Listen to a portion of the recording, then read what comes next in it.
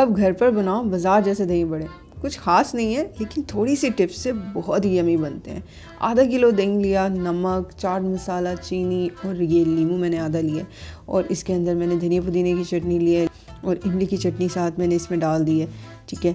और अब इसको अच्छे से मिक्स कर लेंगे। हाफ़ कप प्याज लिया कैबेज ली और उबले हुए आलू लिए थोड़े से और ये दही फूल गया। इनको पहले मैंने पानी में भिगो दिया था और अब हम इसमें चाट मसाला डालेंगे। बेहतरीन हमारे दही बड़े तैयार हैं। वीडियो को लाइक करो, चैनल को सब्सक्राइब करो।